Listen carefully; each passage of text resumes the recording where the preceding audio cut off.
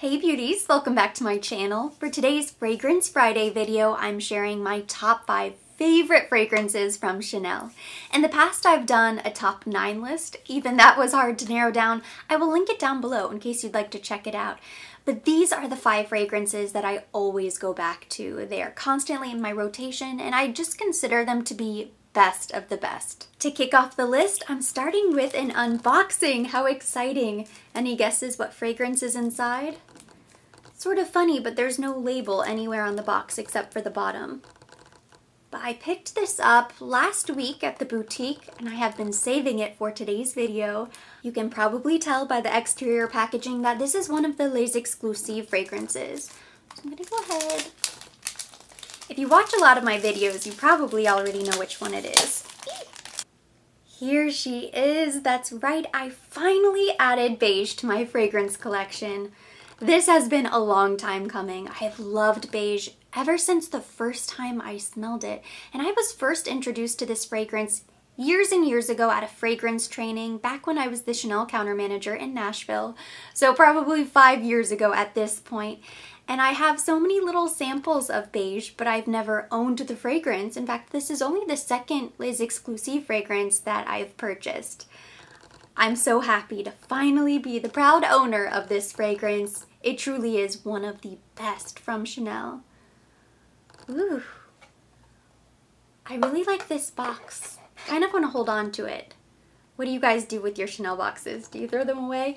With other fragrances, I usually just toss them, but this is more substantial. It's hard cardboard. I kind of want to hold on to it. First spray, here we go. This is going to be my fragrance of the day, so I'm just going to spray it on my arm. There we go. I had to get it going. wow. Oh, it's so beautiful and I don't need to spray anymore. That is powerful. Mmm. It is so bright and floral and happy.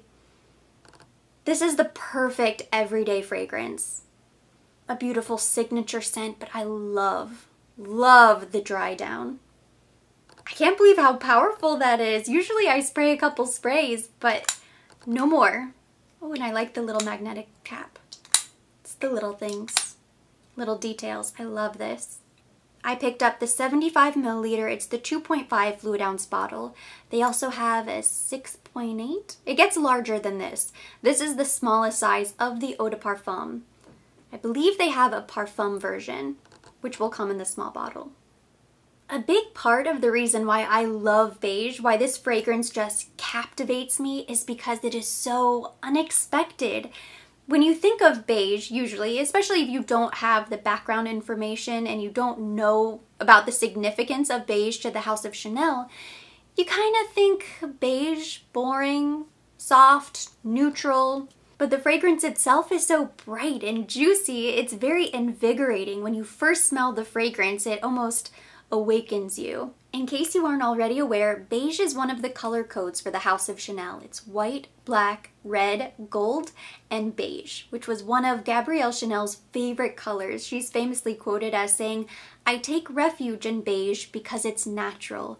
And she loved nature, she loved anything that was natural because it's timeless and classic. It represents beauty and simplicity. So to this day, you will find a lot of beige represented in Chanel fashion, accessories, definitely the shoes, the makeup. They have the entire entirely beige line. It's called Les Beiges because of the significance of beige. So it only makes sense that there would also be a fragrance. Key notes include freesia, which is a fruity floral, hawthorn, which is more powdery, frangipani, which gives it that exotic bite, and honey, which has an enveloping smoothness. It's very feminine, but it's light and bright. It's floral, but it's unlike most florals that you smell, and they just kind of smell like every other floral fragrance. Something is very different. I know this is kind of funny, it probably sounds ridiculous, but I always try to envision the woman who embodies the fragrance. When I smell beige, when I think of the beige woman, she is somebody who has it all together. She's at the top of her game career-wise. She's organized. She has perfect hair. She never has loads of laundry piled up at home. I guess that's part of the reason why I love the fragrance so much. I aspire to be the woman who wears beige. It is not boring whatsoever. Do not let the name fool you. The second fragrance on my top five list might surprise some people because it's not one of the classics, but the reason why it's on the list is because I grab for this fragrance more often than some of my other Chanel fragrances. It's part of the Les Eaux collection. It's Paris Venise. I have loved this fragrance ever since it launched. It was my favorite of all of the Les Eaux. Now I really like Riviera. I would say that would be a close second. It's so fresh and zesty. But the reason why I love Paris Venise is the opposite reason. It's very smooth, creamy, dreamy. I think this is the perfect transition fragrance from summer to fall. I actually think this leans a little bit more fall winter. It's an eau de toilette, so I think it is daytime appropriate. It is very light and dreamy, and yet it's also kind of moody and sensual at the same time. It's a funny fragrance that way. There are not many fragrances that do the same thing Paris Venise does, which is another reason why I love it. It's very versatile. This fits so many different occasions. I think this is a great first date fragrance, but it's also a great office fragrance as well. It's a perfect running errands fragrance. It suits so many different moods. It's very difficult to put Paris Venise in one box to say, this is the appropriate time to wear it. You can kind of wear it anytime. Venice was actually Gabrielle Chanel's first international trip outside of France, and when she got there, she was so inspired by all of the architecture. It had such a huge impact on Chanel fashion and fine jewelry. Keynotes include neroli, vanilla, and tonka bean. So even though it is fresh and light, it has a little smooth, creamy dreaminess that makes it a little bit more sensual. I think this transitions nicely from summer to fall, but also day to evening. This could be a fragrance that you spritz on in the morning and then you might need to reapply. It's not going to last all day long because it is eau de toilette, but you could certainly wear this into the late afternoon, into the evening, and it's just beautiful. It's so sophisticated and fresh, very elegant. It's not overly floral, it's not overly sweet. There's just something really captivating about it. I think this is the type of fragrance that just smells really nice. When I wear this fragrance, I know I smell good. and when I smell this fragrance on other people, I always think, wow, they smell really good. It's just a great fragrance. You can't go wrong with this fragrance. And I find myself picking this up a lot more than my Coco Eau de Toilette, than Chance Eau Tendre. There are other fragrances that I love from Chanel, but I grab Paris Venise more. I'm not presenting these in any particular order, but number three on the list would probably be my number one fragrance from Chanel if I had to rank them, which thank goodness I don't have to. But it is Gardenia. I have the little parfum bottle. At some point down the road, I would like to pick up the 2.5 fluid ounce bottle, like the beige I just purchased because I don't use the parfum that often and I don't want to use this that often because this was the fragrance that I wore on my wedding day and I know it might sound kind of silly, but I just feel very nostalgic about this particular bottle. So I want to keep it somewhere really safe. And I never like to use it because I don't know, I, I just want to save it. It is such a beautiful fragrance and you can't miss it, so it is a little bit less convenient. I would like to have the eau de parfum, that way I can spray it on with the band in. But gardenia is so beautiful because it truly smells like a fresh bouquet. It is the most beautiful floral fragrance I have ever smelled. If you love florals, if you like white florals, you will love gardenia. That feeling you get when you stick your nose right in a bouquet, that is what gardenia smells like. It's very bridal, simple, understated. If I'm just judging the fragrance on its own, I think it is one of the most beautiful fragrances of all time. It's one of the most beautiful fragrances I've ever smelled. And definitely in the land of Chanel fragrances, this has to be number one. For me, it is the number one fragrance from Chanel. Number four is Coco Mademoiselle. This is the Eau de Parfum. I also have the brand new L'Eau Privée. This is the bedtime fragrance. This is the newest interpretation. I love it. I did not know I needed a bedtime perfume until this launched. And I can't get enough. I love to spray this every single night. It just relaxes you. It puts you in a nice, sensual evening bedtime mood. This is beautiful. I also really like the intense version. I don't really spray this one that often because this bottle is pretty old and I'm kind of waiting for this to finish before I pick up the intense, so I probably shouldn't wait.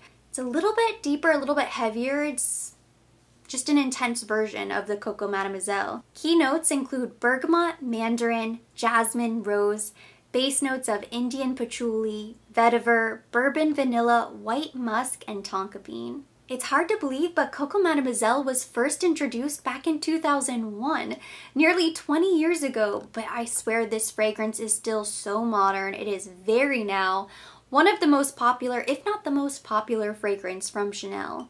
Of course, it's going to be more popular than the Les Exclusifs line because it's widely available, but I want to say this has surpassed Chanel number no. 5 as being a top seller. And it makes sense. I mean, Chanel number no. 5 is Chanel. It is classic, that is the go-to. But there aren't a lot of young people purchasing that fragrance. I think Coco Mademoiselle actually has mass appeal still to this day. I haven't met very many people who do not like Coco Mademoiselle. I think the one complaint about it is that everybody wears it and I don't want to smell like everybody else. Other than that, the fragrance itself is beloved. Sadly, because this is an older bottle, I don't grab this that often, which is part of the reason why I was so excited when they launched this version, the L'Eau Privée.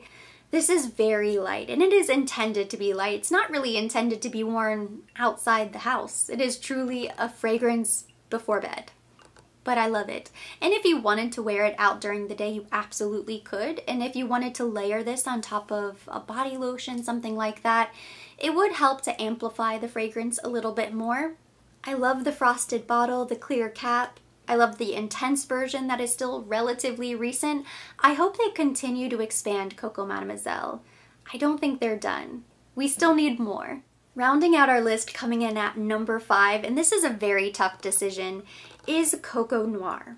And there are several other contenders that could have easily been added to this list.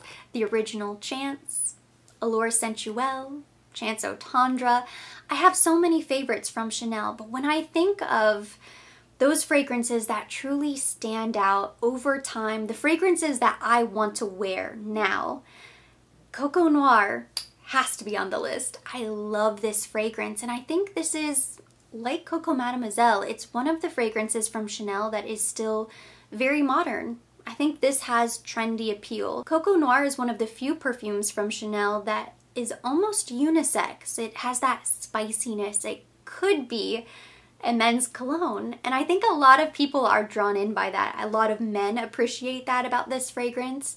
It has key notes of grapefruit and bergamot, rose and jasmine, Indonesian patchouli, and sandalwood. This is another one. It's an older bottle, so I am not going to spray this one but I love Coco Noir. I really need to invest in a new bottle because I miss wearing it. I go to wear it and then I remember, oh yeah, this one is old. This is probably seven years old at this point. It still has a little bit left. I love Coco Noir for date nights, special occasions. I think it is perfect for fall, winter. I don't really grab this for spring, summer. It's a little bit too heavy. It's very spicy. It's very sexy. I think this would be a perfect black tie affair type of fragrance. You know, if you have a very special occasion coming up, this would be beautiful. It's a little bit moody. I love the black bottle. It is so sleek and chic. Beautiful to display. Just a classic fragrance. Hands down, one of the best from Chanel, and just one of the best in general. That completes my very short list. I'm so tempted to add honorable mentions, but I'm not even going to jump down that rabbit hole. There are so many great fragrances from Chanel. These are the five that I grab and I wear the most now. I think they have mass appeal. They're still really popular, really trendy, really modern. So I highly recommend them. And that completes today's video. Thank you so much for watching. Hopefully you enjoyed it. If you did, give it a thumbs up. Leave me your comments, questions down below. I want to hear from you guys. Share your top five list, share your favorites. As always, I will be linking everything mentioned, everything on my face down below in the description box for your convenience. And for more videos like this, don't forget to subscribe and hit the notification bell.